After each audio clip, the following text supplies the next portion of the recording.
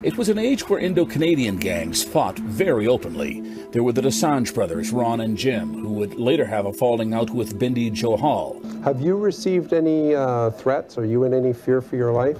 Yes, that's the main reason I came here to talk to you. If you want to talk about nobody, if, if anybody's a nobody buddy, maybe that's why your life is worth a loonie on the streets today. I wouldn't shoot you in the back, but I'd do it right face to face, square in the forehead.